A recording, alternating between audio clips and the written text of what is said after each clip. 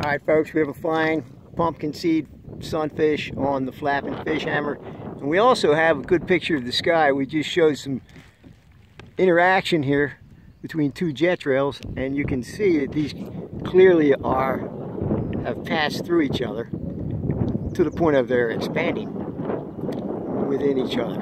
So there's a reaction going on. There's a reaction, jet trail reaction.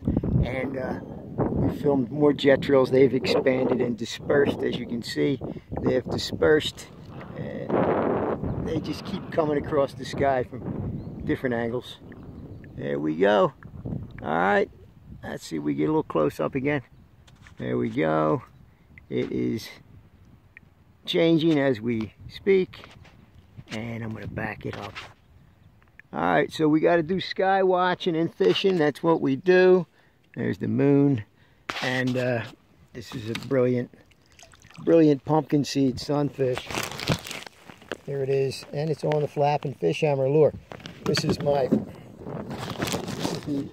larger size swim bait.